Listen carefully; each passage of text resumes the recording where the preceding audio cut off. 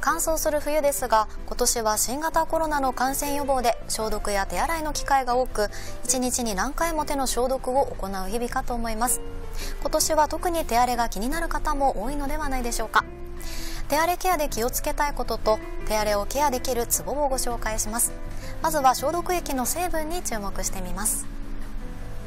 消毒液の中には消毒液で奪われた皮脂を補うためにグリセリンなどの保護成分が含まれているものがあります。こうしたものを選ぶと手に優しいです。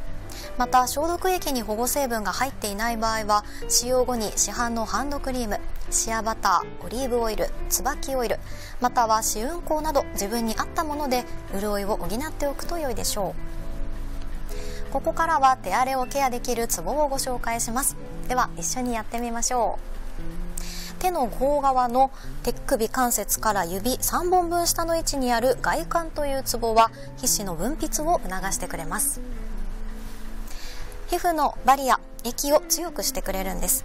液が弱まると皮脂の分泌も少なくなってしまうので肌の乾燥が気になる時は積極的に押してあげてください。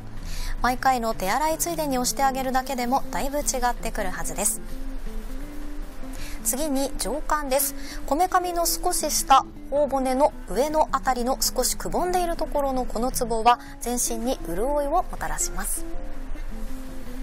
上腕を押すと全身の皮膚の表面を引き締めてくれる効果があります。花粉症などにも用いられるツボで毛穴を閉じて外部からの刺激をシャットアウトすると肌荒れも改善されます。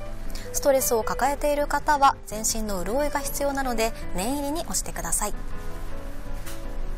食べ物では鶏皮ナッツごまなどが皮脂の分泌を促進してくれます。